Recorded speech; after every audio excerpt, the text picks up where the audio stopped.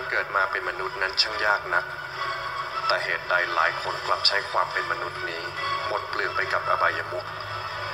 เราเกิดมาในแต่ละชาติภพก็เพื่อยกระดับจิตใจให้สูงขึ้น